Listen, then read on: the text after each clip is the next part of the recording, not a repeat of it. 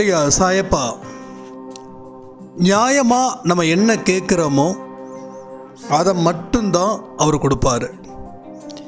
நியாயமாக எப்படி வாழ்கிறோமோ அப்படி வாழ்ந்தால் மட்டும்தான் நம்ம நியாயமாகவே கேட்க முடியும். அநியாயமாக வாழ்ந்தோம் அப்படின்னா அநியாயமாக தான் கேட்போம். கேட்குறதுல கூட சில வர முறைகள் இருக்குது நமக்குள்ளே இருக்கக்கூடிய பிரச்சனைகள் என்ன அப்படின்னா என்ன கேட்குறோம் அப்படின்னு தெரியாமலே கேட்குறோம். அது எப்படி தெரியுமா இருக்கு?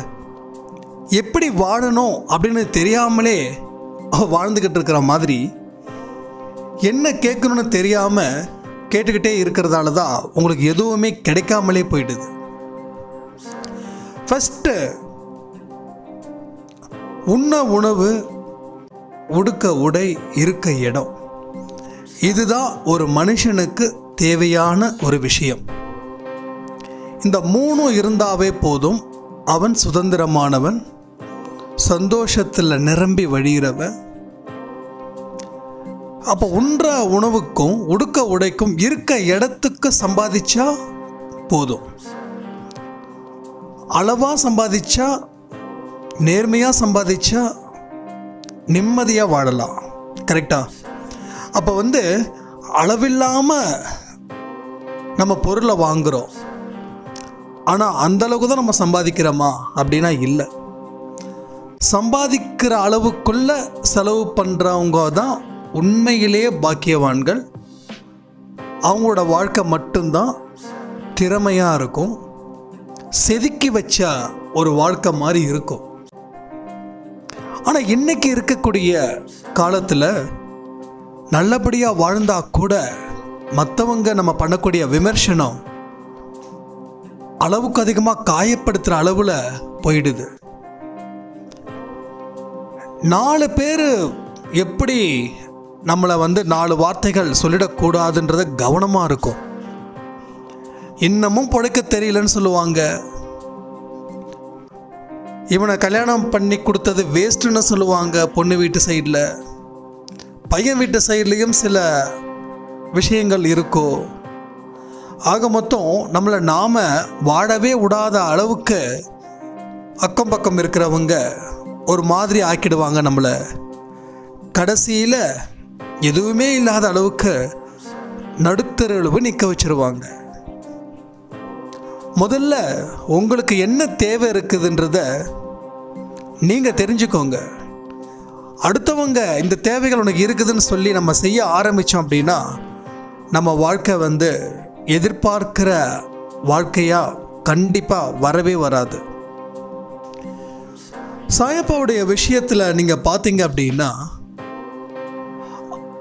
நம்ம என்ன கேட்குறோமோ அது எந்த நேரத்தில் எப்படி கொடுக்கணுமோ அதை கச்சிதமாக கொடுக்குறாங்க. என்னோட வாழ்க்கையில் பாருங்க நான் ஒரு காலத்தில் பயங்கரமாக கேட்டேன். நிறைய வேணும் கேட்டேன். காசு இல்லாமல் இருக்கிறதால தானே யாரும் மதிக்க மாட்டேன்றாங்க. நிறைய காசு வேணும். நிறைய பெரிய பணக்காரர் மாதிரி இருக்கணும். யார்கிட்டையும் எந்த இடத்துலையும் பேசவே கூடாது. அந்த அளவுக்கு திமிராக நடந்துக்கணும். அப்படின்னு நான் ப்ரே பண்ணேன். ஆண்டவர் எல்லா கடவுள்கிட்டையும் கேட்டேன். பெருமாளை கும்பிட்டா செல்வம் கொட்டும் அப்படின்னு சொன்னாங்க. பெருமாள் கோயிலுக்கும் போனேன். ஒவ்வொரு சனிக்கிழமையும் நின்று தீர்த்தம் வாங்கி குடிச்சு பெருமாளே நான் நல்ல பெரிய பணக்காரன் ஆகணும் எல்லாரும் முன்னாடி தலை நிமிர்ந்து வாழணும். அசிங்கப்படக்கூடாது. நினைச்சதை எல்லாத்தையும் வாங்கணும். கடனை எல்லாத்தையும் தீக்கணும் நிறைய பேருக்கு நான் கடன் கொடுக்கணும். ஆனால் ரெகுலராக வேண்டினேன். வாரத்துக்கு ஒரு நாள் கோயிலுக்கு போனேன். புரட்டாசி மாதம் அதுங்கேயும் விடல. அவங்க புரட்டாசி மாதத்தில் வேணா ரொம்ப சிறப்பு அப்படின்னாங்க. எல்லாமே பண்ணியாச்சு. ஆனால் எதுவுமே நடக்கலை. ஏன் நடக்கலை எதுக்கு நடக்கலைன்னு தெரியல. ஆனால் நிறைய பேர் சொல்லுவாங்க நான் வந்து அங்கே போனேன் இந்த இங்கே போனேன். நிறைய இப்போ சூப்பராக வாழ்ந்துட்டு இருக்கேன் சந்தோஷமாக வாழ்ந்துட்டுருக்கேன் ஹாப்பியாக இருக்கேன். நமக்கும் ஆசை அடடா நமக்கும் ஹாப்பியாக வாழணுமே. வறுமையை இல்லாத ஒரு வாழ்க்கை வாழணும் அப்படின்லாம் என்னென்னமோ கற்பனை. எல்லாரும் வாழும்போது ஏன் நம்ம வாழ முடியாதுன்னு ஒரு பொறாமத்தனம் ரொம்ப காண்டாயிடுச்சு. பயங்கரமாக பொறாமை அடுத்தவங்க மேலே. இதெல்லாம் சாயப்பா என் லைஃப்பில் வர்றதுக்கு முன்னாடி நான் வந்து இதுதான் கடவுள் அப்படின்னு நினச்ச ஒரு இடத்துல என்னை பற்றி புரிஞ்சிக்காம வாழ்க்கையை பற்றி தெரிஞ்சிக்காமல் வாழ்க்கைன்னா என்னன்னு தெரியாமல் மனுஷங்கன்னா என்னன்னு தெரியாமல் எல்லா மேலேயும் ஒரு கடுப்பு. எவெல்லாம் வந்து ஃபாரின் காரில் போகிறாங்களோ அவங்க மேலெல்லாம் கடுப்பு. யார் யாரெல்லாம் நமக்கு கீழே இருக்காங்களோ அவங்கெல்லாம் மட்டப்படுத்துறது. இது மாதிரி விஷயங்கள்லாம் தொடர்ந்து ஒரு மூணு நாலு மாதம் இருந்திருக்கும்னு நினைக்கிறேன். அப்போ தான் எனக்கு தோணுச்சு ச்சே என்ன வெறி கொண்ட மாதிரி போயிட்டுருக்கோ? நமக்கு எதுவும் வெறி ஏறிடுச்சோ? அப்படின்னு ஒரு ரீகால்குலேஷன் நாலு மாதம் கூட இல்லை. ஆக்சுவலி ஒரு டூ மந்த்ஸ்க்குள்ளேயே அது திடீர்னு எப்படி ஆச்சு என்ன ஆச்சுன்னு தெரியல. அப்புறம் தான் நோட் பண்ணால் ஒருத்தன் என்னை வந்து நல்லா உசுப்பேத்திட்டான் உன் திறமைக்கு நீ எல்லாம் இப்படி இருக்க நான்லாம் பாரு பேசவே தெரியாதவன் எப்படியா இருக்கிற எப்படி என்ன மாதிரி இருக்கிற அப்படின்னு. உடனே நமக்கு போங்க அடப்பாவி நீயே இப்படி இருக்கிறியா? நான் என்னடா எனக்கு தான் பேச தெரியும். இப்போ ஒரு பொருளை வந்து குதிரையை கடு கழுதியாக நினச்சி விற்க தெரியும் கழுதையை குதிரையாக தெரியும். அந்த திறமை இருக்குது பேச்சு திறமை நிறையவே இருக்குது நம்மளால் பண்ண முடியலையே நீ எல்லாம் பண்ணிட்டியேன்னு சொல்லி அவன் தான் வந்து ட்விஸ்ட் பண்ணதுக்கு காரணம். அந்த அளவுக்கு ஒரு டேர்ன் பண்ணதுக்கு காரணம். பார்த்துக்கோங்க நம்ம வாழ்க்கையில் நல்லபடியாக டேர்ன் பண்ணுறதுக்கும் ஆளுங்க இருக்காங்க. கெட்டதை டியூன் பண்ணுறதுக்கும் ஆளுங்க இருக்காங்க. ரெண்டு இடத்துலையும் சாமர்த்தியமாக இருக்காங்க. சாமர்த்தியமாக வாழ்ந்தால் இந்த மாதிரியான ஆளுங்களை யார் தேவையோ அவங்கள வச்சுக்கலாம் யார் தேவையில்லையோ அவங்க பக்கம் திரும்பி கூட பார்க்க வேண்டிய அவசியம் இல்லாமல் இருந்திருந்தால் இன்னும் சீக்கிரமாக நம்ம டெவலப் ஆகிருக்கலாமோ என்னமோ. அப்போ வந்து கடவுள்கிட்ட கேட்குற தோரணை நான் நிறைய காசு வேணும் நிறைய ஆடம்பரம் வாழ்க்கை வாழணும் காரு வேணும் பங்களா வேணும் கையில் ஒரு பிரேஸ்லெட்டு செயின் செம்மையாக வாழணும்.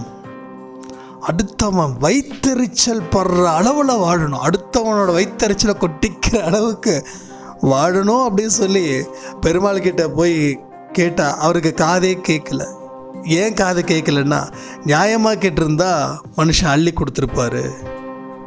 நம்ம கேட்டதெல்லாம் அநியாயமாக கேட்டோமே.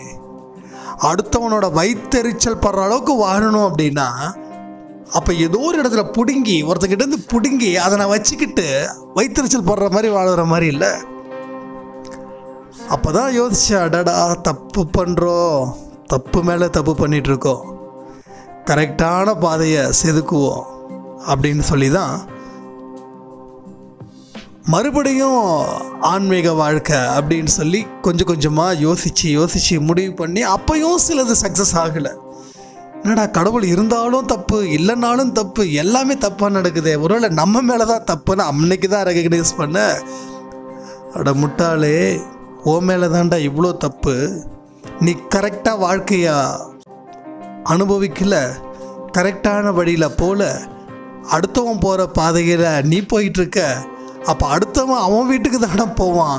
அவன் வீட்டுக்கு நம்ம போனோம் அப்படின்னா என்ன பண்ண முடியும்? கதவை திறப்பாங்களா?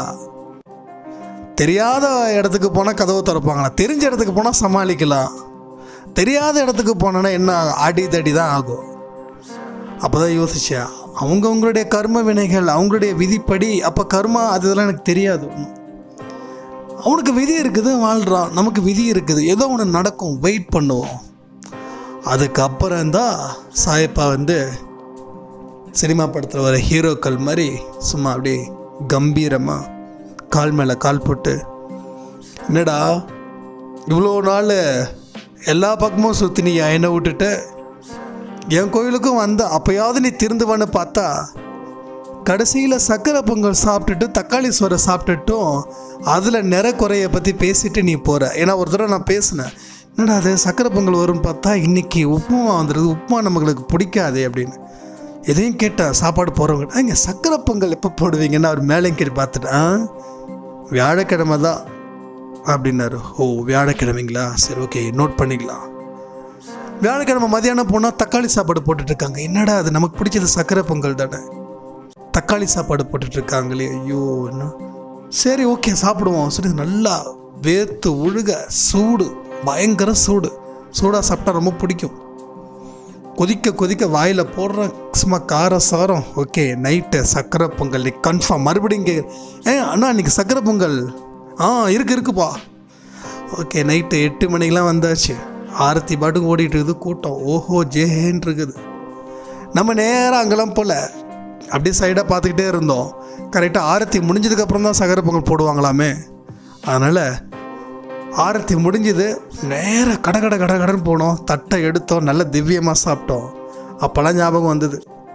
ஏண்டா அப்பயாவது நான் மாறுவேன் என்கிட்ட வருவேன்னு பார்த்தா அப்பையும் சக்கரை பொங்கல் சாப்பிட்றதுக்கும் உப்புமா சாப்பிட்றதுக்கும் தக்காளி சாப்பாடு சாப்பிட்றதுக்கும் தானே வந்த. எப்பயாவது நீ வந்திருக்கியவா அப்படின்னு சொல்லி அண்ணா ரூபத்தில் என்னுடைய அண்ணா ரூபத்தில் அவர் பேர் வந்து கோவிந்தண்ணா. சென்னையில் இருக்காங்க. குரூப்பில் ஜாயின் பண்ணிக்கிறியா அப்படின்னாங்க ஓகே நான் ஜாயின் பண்ணிக்கலாம்.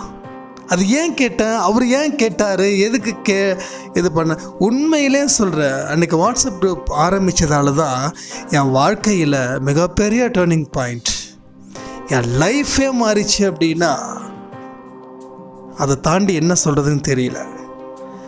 இதுக்கு முன்னாடி பார்த்த ஆளு நான் இல்லை. ஆனால் ஒவ்வொன்றா ஒவ்வொரு இடத்துலையும் என்னை ஃபில்டர் பண்ணி இப்படி தான் வாழணும் இதுதான் வாழ்க்கை. உன்னுடைய கோட்பாடுகள் எல்லாமே கரெக்டு இதுதான்டா வாழ்க்கைன்னு சொல்லி நல்ல ஒரு வாழ்க்கையை ஒவ்வொரு இடத்துலையும் ஒவ்வொரு விதமான அனுபவத்தை கொடுத்து கொடுத்து கொடுத்து இன்னைக்கு வரைக்கும் என்ன அவர் தூங்காமல் பார்த்துக்கிட்டே இருக்கார். என்ன மட்டும் இல்லை. என்ன மட்டும் நான் சொல்லவே மாட்டேன். நம்ம எல்லாரையும் தூங்காமல் கண்ணை சிமிட்டாமல் பெத்த குழந்த தன்னோட அம்மா எப்படி தன்னை குழந்தைய பார்த்துக்கிட்டே இருப்பாங்களோ என்னதான் பண்ணாலும் நல்லா சாப்பிட்டாலும் குழந்தை அழுதுச்சுன்னா இம்மீடியட்டாக ஓடி வந்து என்னடா அது குழந்தை அழுவுது? அந்த மாதிரியான ஒரு அக்கறையோட இன்னைக்கு வரைக்கும் நம்மளை வாட்ச் பண்ணிக்கிட்டே இருக்கார் அப்படின்னா அனுபவிச்சா மட்டும்தான் தெரியும். இங்கே நிறைய பேர் அனுபவிச்சுட்டு தான் இருக்கோம். சில பேருக்கு தெரியல. ஏன்னா ஸ்டார்டிங்கில் ஒரு கன்ஃபியூஷன் வரும். இவர் கும்பிட்டதால வந்ததா? இல்லை பழைய கடவுளோட கும்பிட்டதால வந்ததா? இல்லை நம்மளுடைய திறமையால் வந்ததா? நீங்கள் எதை வேணாலும் நினச்சிக்கோங்க. ஆனால் நம்மளுடைய திறமையால் வந்ததுன்றது மட்டும் நினச்சிடாதீங்க. பழைய கடவுளை கும்பிட்டாலும் இந்த கடவுளை கும்பிட்டாலும் இனி வரப்போறைய கடவுளை கும்பிட்டாலும் கடவுள்ன்றது ஒரே தனம்தான். மனுஷனுக்கு எப்படி இயல்புகள் ஒரு மாதிரி இருக்குதோ அதே மாதிரி கடவுளோட இயல்புகளும் ஒரே மாதிரி தான் என்ன மனுஷன் அப்பப்போ கொஞ்சம் சேட்டை பண்ணுவான். அப்பப்போ பிரச்சனையில் மூக்க நுழைப்பான். ஆனால் கடவுள் வந்து நல்லா வாழணுன்றது மட்டும்தான் கடவுளியோட எண்ணம். எப்படி பெத்த குழந்தை பெத்த அம்மாக்கள் வந்து எத்தனை குழந்தை இருந்தாலும் ஒரே குழந்தை மேலே என்ன ஒரே மாதிரியான அன்பு தான் தான் குழந்தைங்களுக்கு வைப்பாங்க. அதே மாதிரி தான் கடவுளுடைய இயல்பும். எந்த மதமாக இருக்கலாம் எந்த ஜாதியாக இருக்கலாம் எந்த வழிபாடாக இருக்கலாம். வழிபாடே இல்லை கடவுளே இல்லைனாலும் நல்ல எண்ணத்தோட ஒரு மனுஷன் வாழ்ந்தானா அவனையும் கடவுள் வந்து தான் பக்கம் சேர்த்துப்பார் அப்படிப்பட்டவர் தான் நம்மளுடைய சாயப்பா. அப்போது நம்ம எதிர்பார்க்குற எல்லாமே கொடுக்கணும் அப்படின்னு நம்ம எதிர்பார்க்குறது கரெக்டு தான். ஆனால் நியாயமான வழியில் பொருளை சம்பாதிச்சா நமக்கு நியாயமாக இருக்கும் இல்லையா? அநியாயமான வழியில் பொருளை சம்பாதித்தோம் காசை சம்பாதிச்சோம் அப்படின்னா என்ன ஆகும்? இன்றைக்கி நிறைய பேர் பாருங்கள் அநியாயமாக சம்பாதிப்பாங்க. அடுத்த தலைமுறை கூட திண்டாடுற அளவில் அந்த காசு அப்படியே பாவப்பட்ட காசாக போயிடும். அதே மாதிரி தான் நம்மளோட வாழ்க்கையும் நல்ல முறையில் வாழணும் நேர்மையான முறையில் வாழணும் வாழ்கிறதுக்கு முயற்சிகள் செஞ்சுக்கிட்டே இருக்கணும். சுறுசுறுப்பு இருக்கிற இடத்துல சாயப்பா இல்லை அப்படின்றதையும் நம்ம புரிஞ்சிக்கணும். துக்கமாக இருந்தால் கவலைகளாக இருந்தால் என்னத்தை சாதிச்சிடுவோம் அப்படின்ற ஒரு நினப்பும் மனசில் இருக்கணும். அப்போ நம்மளோட தேவைகளை முடிஞ்ச அளவுக்கு குறைச்சிக்கணும். நம்ம எதுக்காக வந்தோம் எதுக்காக வேலை செய்கிறோம் இதை மட்டும்தான் நம்ம கையில் எடுக்கணுமே தவிர எனக்கு இது வேணும் அது வேணும் அது இது அப்படின்னு கேட்டுக்கிட்டே இருக்க இருக்க இருக்க நமக்கு வந்து ஒரு நார்மல் நிலைமையில் இருந்து அப்நார்மல் நிலைமைக்கு மாறிட்டோம் அப்படின்னா அதுதான் பைத்தியம் பிடிக்கிறதுக்கு உண்டான ஒரு ஸ்டேஜ் அப்படின்ற மாதிரி ஆகும். அதனால் நார்மலாக இருப்போம்.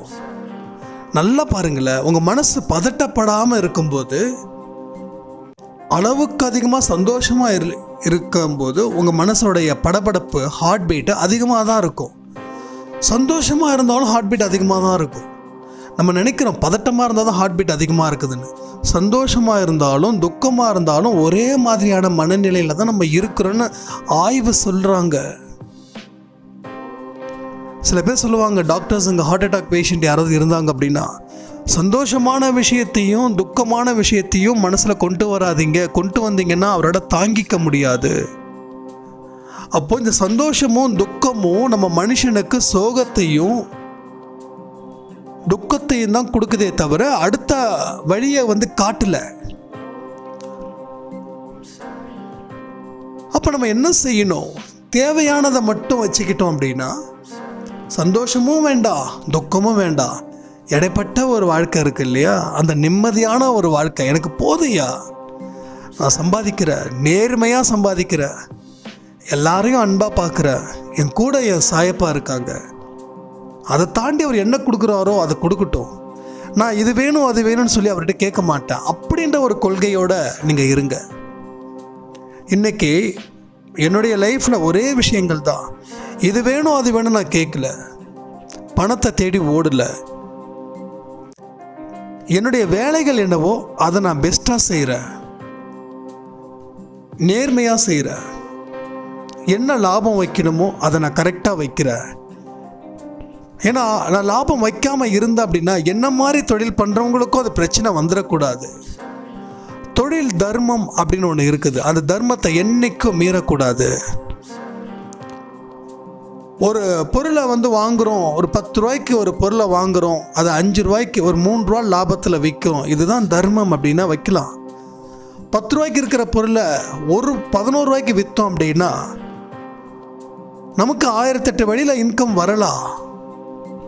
இல்லை கடன் வாங்கி வியாபாரம் பண்ணலாம். ஆனால் அடுத்தவனை கெடுக்கணும் அப்படின்னு நினச்சா எந்த ஒரு இடத்துலையும் வரவே வராது பிஸ்னஸ் பொறுத்த வரைக்கும். என்னோடய லைஃப்பில் நிறைய பேரை நான் பார்த்துருக்கேன். கடன் வாங்கி தொழில் பண்ணி அந்த தொழிலை திறமையாக நடத்தாமல் வட்டிக்கு விட்டு பொருளுத்து பொருளை வைக்கிற இடத்துல லாபத்தையும் சரியாக வைக்காமல் எல்லாமே நாஸ்தி பண்ணி வீண் பண்ணி எத்தனையோ குடும்பங்கள் இடம் தெரியாத இடத்துல போயிட்டு ஏதோ ஒரு இடத்துல கூலி வேலை செஞ்சு பிழைக்கக்கூடிய அவல நிலையிலையும் நான் சில பேரை பார்த்துட்டு தான் இருக்கேன். அப்போ எந்த ஒரு இடத்துலையும் சரி தர்மத்தை மீறக்கூடாது. அநியாயத்தை கையில் எடுத்து இப்படி தான் வாழணும் அப்படின்னு நீங்கள் என்னைக்கு அதை கையில் எடுக்கிறீங்களோ அப்போ உங்களுடைய சொல்லும் சரி. உங்களுடைய செயலும் சரி உங்களுடைய எண்ணங்களும் சரி நல்ல விஷயங்களாக மாறுறதுக்கு வாய்ப்பே கிடையாது. நல்லபடியாக வாழ்கிறதுக்கு தான் இந்த ஒரு ஆப்பர்ச்சுனிட்டியை நம்ம சாய்ப்பா வந்து கொடுத்துருக்காங்க. நீடித்த பொறுமை ரொம்ப ஒரு மனுஷனுக்கு அவசியம். நாலு பேர் மனசில் வச்சோம் அப்படின்னா சிரிக்கிறதுக்கு மட்டும்தான் கூட்டம் வரும். அழுகும்போது கூட்டம் எப்படி அலறி அடிச்சுட்டு ஓடுதுன்னு மட்டும் நீங்கள் பாருங்கள் உங்களுக்கு மனசு சோர்வாக இருந்தால் அட்வைஸ் பண்ண ஆயிரம் பேர் திரண்டு வருவாங்க. அதெல்லாம் ஒன்றும் இல்லைன்னு. ஒரு ஆயிரம் ரூபாய் கேட்டு பாருங்களேன். இருக்கிற இடம் தெரியாமல் இதில் நான் அனுபவித்த உண்மை அதை தான் நான் சொல்லிகிட்ருக்கேன் இருக்கேன் நான். அதனால் எந்த இடத்துலையும் சரி நம்ம நம்மளோட வாழ்க்கையோட தத்துவத்தை என்னைக்கும் விட்டுத்தர வேண்டியது அவசியமே இல்லை. நீங்கள் படிப்படியாக நல்லபடியாக உயரணும் அப்படின்றது தான் சாயப்பாவோட எண்ணம். நீங்கள் எவ்வளோக்கு எவ்வளோ உயர்றீங்களோ அந்தளவுக்கு அடக்கத்தோடு வாழணும். இரக்கத்தோட இருக்கணும். கருணையோட கருணை உங்கள் கண்களில் பொழியணும். எந்த இடத்துலையும் திமிரு இருமாப்பு வெட்டி பேச்சு தற்பெருமை. இது மாதிரியான விஷயங்களை என்னைக்கும் கையில் எடுக்காதீங்க. அப்படிப்பட்ட ஒரு எண்ணங்கள் இருந்தால் நீங்கள் என்ன ப்ரே பண்ணாலும் அது கிடைக்கவே கிடைக்காது. அதே மீறி உங்களுக்கு ஒரு கிடைக்குது அப்படின்னா அது இந்த ஜென்மத்தில் நீங்கள் கடவுள்கிட்ட கேட்ட வரம் இல்லை. போன ஜென்மத்தில் ஏதோ ஒரு விஷயத்தில் நம்ம புண்ணியம் பண்ணியிருக்கிறதால அந்த காற்று அடிக்குது.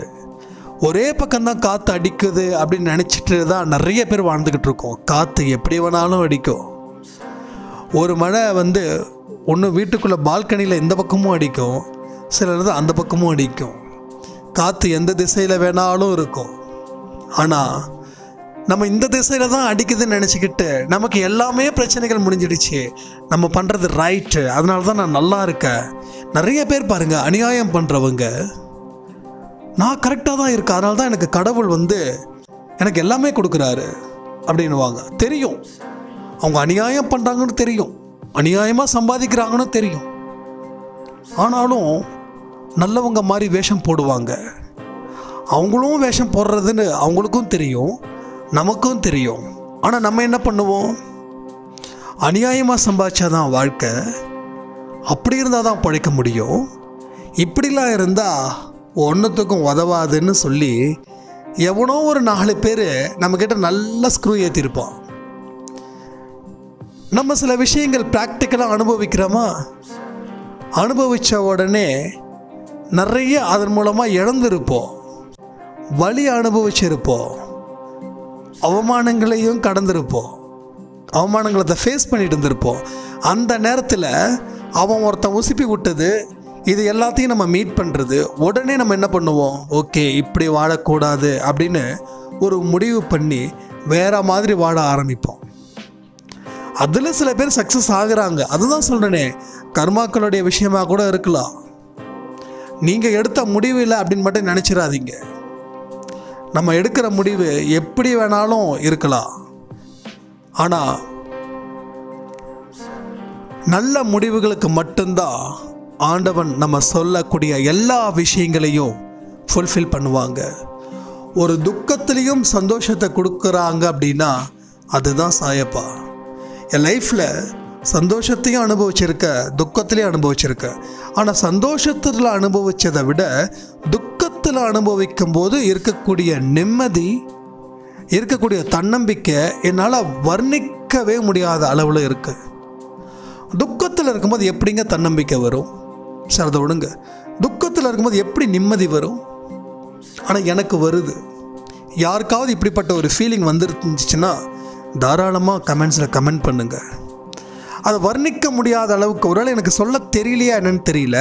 அப்படி உங்களுக்கு ஒரு ஃபீல் வந்துச்சு உங்களால் சொல்ல முடிஞ்சுது அப்படின்னா கமெண்ட்ஸில் தயவு செய்து கமெண்ட் பண்ணுங்கள் இல்லைனா ஃபேஸ்புக் இன்ஸ்டாகிராமில் இருக்கிற ஒரு ஆடியோ கொடுங்க நான் கேட்டுக்கிறேன். அந்த ஒரு விஷயத்தை சாய்ப்பானுக்கு கொடுத்ததே மிகப்பெரிய வரமாக நான் நினைக்கிறேன். சொத்து வேண்டாம் சுகம் வேண்டாம். ஆனால் ஒரு துக்கத்தில் இருக்கும்போதும் ஒரு நிம்மதியான ஒரு மூச்சு எனக்கு கிடைக்குது. அமைதி கிடைக்குது.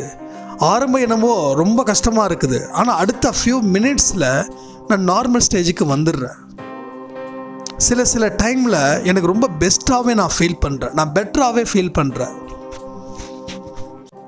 எனக்கு அந்த அளவில் என்னோடய லைஃப்பை வந்து ஃபுல் அண்ட் ஃபுல் நான் சரண்டர் பண்ணிட்டேனோ என்னமோ தெரியல. ஏன்னா நான் சரண்டர் பண்ணுறேன்னு சொல்கிறேன் ஆனால் சாயப்பாவுக்கு தான் தெரியும் நான் சரண்டர் ஆகிட்டேனா இல்லையா அப்படின்னு. ஏன்னா நம்மளா ஒரு விஷயத்த நினச்சி இப்படி அப்படின்னு நினச்சிடக்கூடாது இல்லையா? அதுக்காக. ஆக மொத்தம் ஒரே விஷயத்தை மட்டும் என்னால் திரும்ப திரும்ப சொல்ல முடியும். அவர் நம்மளை பார்த்துட்டாரு அப்படின்னா அதுக்கப்புறம் கண்ணை மூடிட்டு கூட பைக்கில் நூறில் ட்ராவல் பண்ணலாம். அந்த அளவுக்கு சேஃப் அண்ட் செக்யூரிட்டி நம்ம சாயப்பா. அவர் சொல்கிறதுக்கு வார்த்தையிலே கிடையாது. அவர் நகைச்சுவை உணர்வு ஜாஸ்தி கோபம் ஜாஸ்தி அமைதி ஜாஸ்தி எல்லா இடத்துலையும். நான் அவர்கிட்ட ப்ரே பண்ணும்போதெல்லாம் சாயப்பாலாம் சொல்கிறதில்ல செல்லன்னு சொல்லி தான் கூப்பிட்றேன். இப்போ ரீசெண்டான டேஸில் செல்ல நான் கிளம்புறேன். செல்ல நான் தூங்க போகிறேன் செல்ல நான் இது பண்ணுறேன் அதை பண்ணுறேன் அதை செய்கிறேன் ஒரு நாளைக்கு நைட்டு தூங்கும்போது ரெண்டு மூணு தடவை பார்த்துக்கிட்டே இருக்கும். பெட்டுக்கு வருவேன் மறுபடியும் போய் பார்ப்பேன். மறுபடியும் பெட்டுக்கு வருவேன். இது ரொம்ப தப்பான விஷயம் எனக்கு தெரியுது. ஏன்னா ஒரு நிறைவோடு நம்ம வரதே இல்லை. ஒரு குழந்தைய பார்க்கும்போது தான் கொஞ்சிக்கிட்டே இருப்போம் இல்லையா? அது மாதிரி. அப்போ அந்த அளவில் அவர் வந்து அவ்வளோ பிடிச்சிருக்குது எனக்கு. அவ்வளோ. கொஞ்சம் நெஞ்சம் இல்லை. எக்கச்சக்கமாக நான் எதுவும் அந்த மனுஷங்கிட்ட கேட்கறதே இல்லை. எனக்கு இதை கொடு அதை கொடு அப்படின்னு. அதனால் கேட்காமலே நான் கேட்டால் நான் எதிர்பார்க்குற மாதிரி ஒரு ஃபீல் ஆகுதோ என்னமோ தெரியல. எனக்கு தெரியல. எனக்குள்ள உள்ளுக்குள்ளே இருக்கிற மாற்றங்கள் என்னால் சிலதெல்லாம் கண்டுபிடிக்கவும் முடியல. என்னோட ஃபீலிங்ஸ் உங்களுக்கு புரியுதுன்னு நினைக்கிறேன். உள்ளுக்குள்ளேயே எனக்கு சில மாற்றங்கள் வந்துக்கிட்டே இருக்குது. எதையும் நான் கேட்குறதே இல்லை. ஏதாவது ஒரு விஷயம் விளையாட்டாக சொன்னால் கூட அது உண்மையாக நடத்துகிறாரு அது எனக்கே ரொம்ப சர்ப்ரைஸாக இருக்குது. ஏதோ ஒரு விஷயத்தை நான் படுக்க சொல்லிட்டு போயிடுறேன். ஓகே அதை வாங்கலாம் அப்படின்ட்டுன்னு. ஆனால் திடீர்னு பார்த்தீங்கன்னா என்னடா அது நம்ம சும்மா சாதாரணமான சொன்னோம். ஒரு ஒரு ஏதோ ஒரு டைமிங்க்கு சொல்லிட்டு போகிறோம் மனசில் துளி கூட ஆசை கிடையாது. ஆனால் இது எப்படி நடக்குது? அப்படின்னும்போது ஒருவேளை அவர் தான் இது உந்துதலா? இல்லை என்னுடைய விஷயத்த வந்து ஐயோ நம்ம பையன் கேட்குறானே நம்ம செய்வோம். அப்படின்னு பண்ணுறாரா அப்படின்னு தெரியல. ரொம்ப இன்ட்ரெஸ்டிங்காக இருக்குல்ல பேசுறது கேட்குறது ரியலாக சொல்கிற ஃபீல் பண்ணுங்க. நான் வந்து இதை செய்யுங்க அதை செய்யுங்க அந்த கோயிலுக்கு போங்க இந்த கோயிலுக்கு போங்கன்னு சொல்கிறதுக்கு ஜோசியர் கிடையாது. இல்லை வாக்கு சொல்லக்கூடிய அதுவும் இல்லை. சாதாரண ஒரு மனுஷனாக இருந்து நம்மள ஒரு மனுஷனாக இருந்து உங்கள் குடும்பத்தில் ஒரு மனுஷனாக இருந்து சொல்கிறேன் ரொம்ப ரொம்ப ரொம்ப ரொம்ப தங்கமான மனுஷன் நம்மளோட சாயப்பா. நிறைய தருவார். ரொம்ப நல்ல மனுஷன். நீங்கள் ரொம்ப நல்ல மனுஷன் இல்லை. நான் கேட்டதை மட்டும்தான் தருவீங்களா? நான் உங்ககிட்ட ஒரு விஷயம் கேட்குறேன் நீங்கள் தங்கமான மனுஷன். உங்ககிட்ட கேட்குற சிஸ்டர் பிரதர் எனக்கு இதை கொடுங்க. ரொம்ப ஆசையாக இருக்குது அப்படின்னு. என்ன பண்ணுவீங்க? ஏன்னா உங்களுக்கு ரொம்ப பிடிக்கும். உங்களுக்கு என்ன ரொம்ப பிடிக்கும் எனக்கு உங்களை ரொம்ப பிடிக்கும். இப்போ வந்து நான் கேட்கும்போது என்ன பண்ணி? இந்தா எடுத்துக்கோ எடுத்துக்கோ எடுத்துக்கோ எடுத்துக்கோ. சொல்ல மாட்டீங்க? நான் வாங்கிட்டே இருக்கிற ரொம்ப போதும் போதும் ஒடுங்க போடுங்க என்னால் எடுத்துகிட்டு போக முடியாது. இமேஜ் பண்ணி பாருங்களேன் அதே மாதிரி தான் நம்ம சாயப்பா. எடுத்துக்கோடா. ஐயோ இவர்கிட்ட கேட்டதே தப்பு. தேவையில்லாமல் ஒரு இவர்கிட்ட கேட்டதால் பாரு என்னமோ செய்கிறாரு இதை நான் எங்கே வச்சு பாதுகாக்க முடியும்? அந்த மாதிரியான ஒரு நிலைமையும் உங்களுக்கு வரலாம். கடனில் அவதிப்பட்டு இருக்கீங்கல்ல இன்னும் ஒரு வாரத்தில் பேமெண்ட் கட்டணும். கட்டணும்ல? அந்த இடத்துல இதே மாதிரி தான் உங்களுக்காவது ஒரு வாரம். எனக்கு அடுத்த அவர்ஸ் ரெடியாக இருக்கானுங்க வச்சு செய்கிறதுக்கு இப்போ இல்லை த்ரீ இயர்ஸ் பேக்கில் என்னடா இவங்ககிட்ட வர சொல்லிட்டு ஓயாமல் ஃபோன் அடிக்கிறேன். அவனுக்கு என்ன கமிட்மெண்ட்டுன்னு தெரியல. அடுத்து ஆஃப் அன் ஹவர் தருவது என்னாச்சுங்க? ஆயிடுச்சா? இல்லைங்க தோ பத்து நிமிஷம். ஒரு பதினஞ்சு நிமிஷம். அந்த பதினஞ்சு நிமிஷம் ரிலாக்ஸ் மறுபடியும் பதினாலாவது நிமிஷத்தில் கால் பண்ணுவான். எத்தனை தடவை தான் அவன் சிரிச்சுக்கிட்டே இருப்பான். உடனே வாய்ஸ் ரைஸ் பண்ணுவான். கொடுக்க முடியாது. என்ன பண்ணுவேன் ஸோ இப்படி தான் ஒரு நம்ம லைஃப் வந்து போயிட்டு இருந்தது இவ்வளோ நாளாக ஸோ ஒரே விஷயந்தான் எல்லாத்தையும் அனுபவிங்க. கஷ்டங்களை அனுபவிங்க. மறுபடியும் இந்த கஷ்டத்தை நம்ம சாயப்பா நமக்கு காட்ட மாட்டார். டெஃபினட்டாக உறுதியாக உத்தரவாதத்தோட சொல்கிறேன் இந்த கஷ்டத்தை நீங்கள் அனுபவிக்கிறீங்களா? இந்த மாதிரியான கஷ்டத்தை இனி நினச்சி கூட பார்க்க முடியாத அளவில் தான் இருக்குமே தவிர இதே மாதிரி கஷ்டம் உங்கள் லைஃப்பில் வரவே வராது. அதனால் இதை நல்லா அனுபவிங்க. சாயப்பாவை மனசில் நினச்சிக்கிட்டு வைராக்கியத்தோட நீங்கள் வாழுங்க. தேவையானதை மட்டும் கேளுங்க. அது கேட்கவே வேண்டாம். எதுவுமே கேட்காதீங்க. இதை பார் உங்ககிட்ட சரண்டர் ஆகிட்ட நீ என்னோட அப்பா நான் உன் குழந்தை. உனக்கும் எனக்கு இதுதான் டீல் நீ எனக்கு கடவுளும் கிடையாது என் குருவும் கிடையாது என் நண்பனுக்கு இனி என்னுடைய அப்பா. அவ்வளோதான் நீ பார்த்துக்கோ நாலு பேர் கடங்கார வருவான். நீயே பதில் சொல்லு. என் மூலமாக என்ன சொல்லுமோ அதை சொல்லு. நான் எவனையும் நான் ஏமாத்தலை. உன் பிள்ளையாக இருக்க. நான் எவனையும் ஏமாற்ற மாட்டேன். நானும் இனிமேல் ஏமாற மாட்டேன். நான் ஏமாந்ததால தான் இன்னைக்கு வந்து இப்படி உட்காந்து கிடக்குற அப்படின்னு சொல்லி மனப்பூர்வமாக பேசுங்க. என்ன பிரச்சனை உங்களுக்கு பேசுறதுக்கு? ஏன் உங்கள் ஃப்ரெண்ட்ஸ் கிட்ட மட்டும்தான் உட்காந்து ஓவன்னு அழுவீங்களா? இல்லை உங்கள் ஃப்ரெண்ட்ஸ் கிட்ட தான் எல்லாத்தையும் பேசுங்களா அப்படி பேசி பேசினா இப்படி உட்காந்து நின்றுட்டுருக்குறோம் நம்ம நடுத்தருவில் அவர்கிட்ட போய் பேசுங்க. சாயப்பட பேசுங்க. சுயநலம் இல்லாத ஒரே மனுஷன் அவர் மட்டும்தான். மனுஷங்க எல்லாமே சுயநலம் மிக்கந்தான். மனுஷங்க தான். அதனால் புரிஞ்சுக்கோங்க தெரிஞ்சுக்கோங்க. வாழ்க்கையில் நல்லபடியாக வாடலாம் வாழ்ந்தால் நல்ல ஒரு வாழ்க்கை நமக்கு டெஃபினட்டாக கிடைக்கும் அப்படின்னு சொல்லி இந்த ஆடியோவை முடிக்கிறேன். நைட்டு கரெக்டாக ஏழு மணிக்கு இன்னொரு ஆடியோ வரும். கமெண்ட்ஸில் கமெண்ட் பண்ணுங்கள் எதுவாக இருந்தாலும் ஷேர் பண்ணுங்கள் ஃபேஸ்புக்லேயும் சரி இன்ஸ்டாகிராம்லேயும் சரி. முடிஞ்ச அளவுக்கு நான் உங்களுக்கு நான் ரிப்ளை பண்ணுவேன். கண்டிப்பாக ரிப்ளை பண்ணுவேன். ரிப்ளை பண்ணாமல் இருக்க மாட்டேன். சொல்லி இந்த ஆடியோ முடிக்கிறேன். ஜாய். சைரா.